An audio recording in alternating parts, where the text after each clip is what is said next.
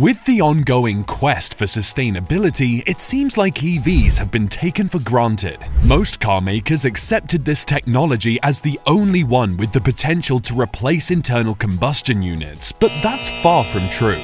Toyota, for example, insists on a diverse approach, which would include the implementation of all kinds of technologies which would significantly reduce carbon emissions. It all started with hybrids, but soon after, the Japanese companies started working on a variety of power sources, including hydrogen, ammonia, etc. But what about other companies? What about that small startup from Spain that brings revolutionary engine design with potential for numerous applications? Let's check that one first. INNengine, a small startup from Spain, has always been insisting on an electric approach to future mobility. Therefore, it isn't a surprise that at times when everyone is working on new battery technology, this company decided to reinvent the internal combustion technology. The new engine has been in the testing phase for a while, and it looks like we could see the first application pretty soon.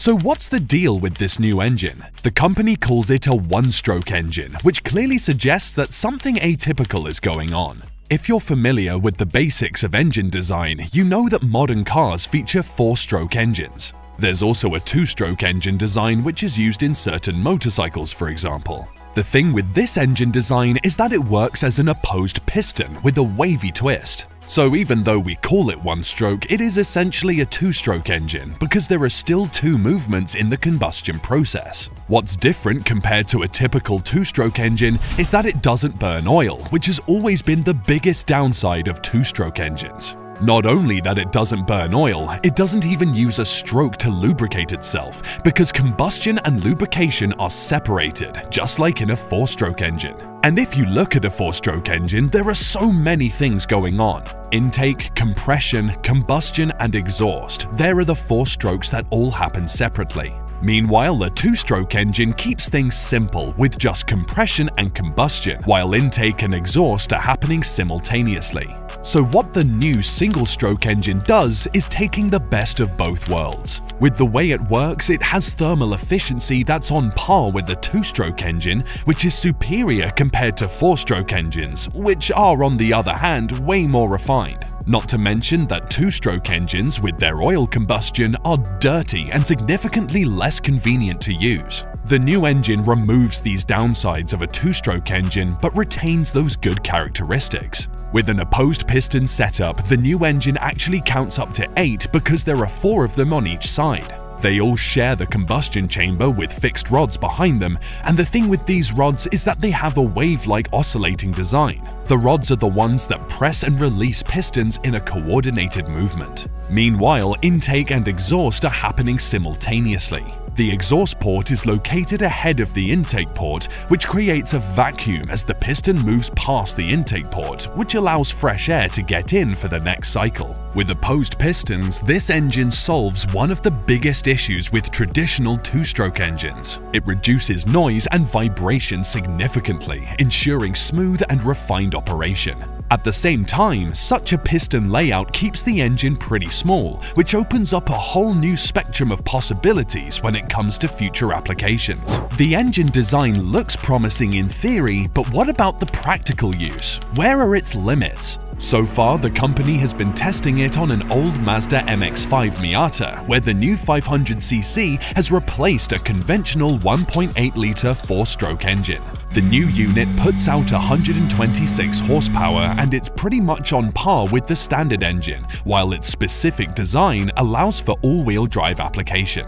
However, we noticed one intriguing thing. The company didn't specify max torque. It didn't answer that question either. Meanwhile, we noticed that the test mule was also equipped with some kind of forced ignition, which indicates that the new engine needs a boost to achieve the desired torque. In other words, the bare engine is probably not too generous with torque, and that raises a couple of questions. The first, of course, is whether the new engine design is appropriate for automotive applications. That's one of the answers we're looking for, but even if there's not enough torque to spin wheels conveniently, the engine might find its way to the automotive world anyway, because it could be used as a pretty efficient power generator in hybrid vehicles. Companies like Nissan already came up with such systems where a gasoline engine feeds the battery and electric motors, with the latter spinning the wheels. In the case of the new engine, things could be particularly beneficial considering that the new engine is compact and therefore light. When used instead of large batteries, it can easily save hundreds of pounds in weight and make the ride safer, easier and more convenient, not to mention significantly reduce carbon footprint.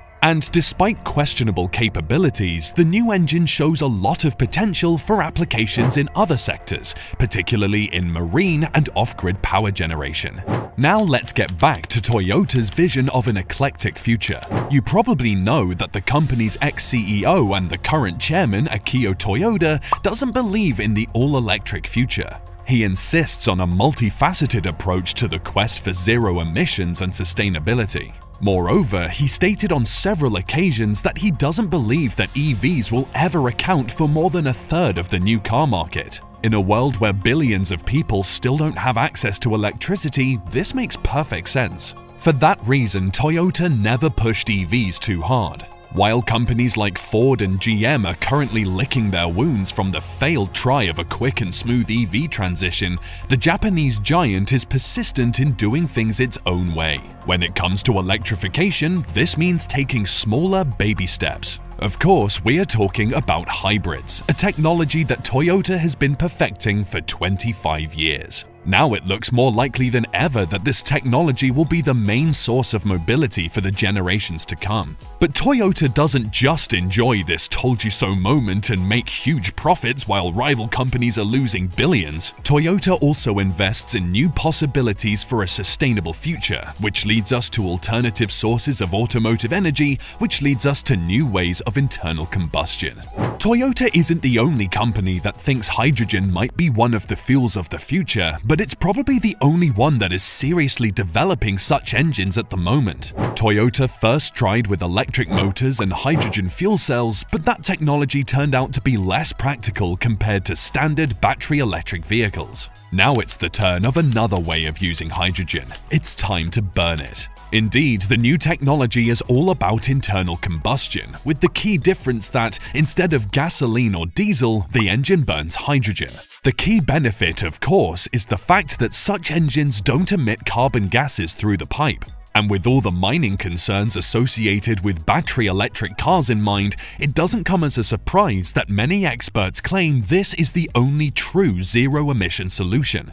In any case, Toyota has been pretty busy lately working on a few engines that run on hydrogen. The hydrogen fuel cell Mirai didn't become a commercial success, but it still paid off in the way that Toyota now has a proper technology for storing hydrogen in car tanks, which is certainly one of the most challenging parts of this hydrogen adventure. As for the engines, Toyota already has a couple of units that are in the testing phase. The best known is the converted 1.6-litre turbocharged 3-cylinder engine that originally ran on gasoline and can be found in Yaris and Corolla GR models. This engine is in a pretty advanced stage of development, so it doesn't surprise that one of the prototypes already participates in various racing competitions, such as the Fuji 24 Hours Race, Super Taikyu Series Endurance Race, etc. A capable V8 engine is also in the works and once again it's about the conversion of standard gasoline-powered engines. This time it's a 5-litre V8, the one which powers models like LC500 and RCF, which is expected to feature a max output of 444 horsepower. Finally, the company is also testing one of the hydrogen-powered V6 engines in a commercial van on the roads of Australia. As mentioned, Akio Toyoda doesn't believe in an all-electric future. But does this mean he's against EVs? Not at all. According to Toyota, EVs have their place in the future, and what he fights against is the current trend of imposing EVs as the only solution.